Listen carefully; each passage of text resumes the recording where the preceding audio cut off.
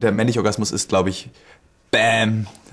Das ist, leider ist es so. Das ist so, kann mal ein längeres Bam werden und das kann auch mal ein kürzeres Bam werden und es kann ein Prostata-Bam werden. Das unterscheidet sich tatsächlich. Aber es, es ist grundsätzlich so ein Bam. Sportler sagen immer, es war fast wie ein Orgasmus. Sie sind Weltmeister geworden, fast wie ein Orgasmus. Also denke ich, jeder Orgasmus besser als Weltmeister werden.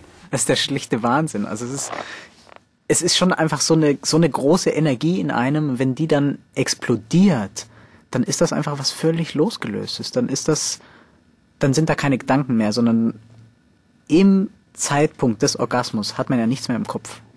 Das ist das Schöne daran. Wenn man das jetzt so alle Orgasmen, die ja wahnsinnig verschieden sind, ähm, so mal auf den Nenner bringt, ist es, denke ich, schon wie eine Welle, die kommt und dann irgendwann bricht. Also es ist etwas, was, was sich steigert auf einen Punkt irgendwie durch so ein Nadelöhr will und dann rauskommt. Was Sex angeht, wäre ich auch gerne meine Frau. Dieses Mysterium, der weibliche Orgasmus mal selber erfahren zu dürfen, ähm, klar, also Geschlechtertausch, her damit sofort. Ich möchte einen Tag lang die ganze Nacht Sex haben, gebumst werden.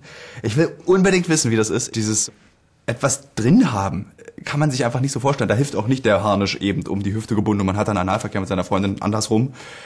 Ähm, dieses so äh, den Körper anbieten für den männlichen Orgasmus muss ein wahnsinnig tolles Gefühl sein. Ich würde wirklich gerne wissen, was das ist. Das muss großartig sein. Also, wenn natürlich ein Pillermann heißt wie ein Regenwurm, dann, dann möchte ich dann keine Frau sein. Ne? Das ist sehr schrecklich. Ne? Aber ja, das muss großartig sein. Wenn so ein Tier da in dich reinkommt, das muss ja großartig sein. Das ist ja diese Machtergreifung. Und du bist dem erlegen. Das, das muss großartig sein. Das muss, das muss sensationell sein.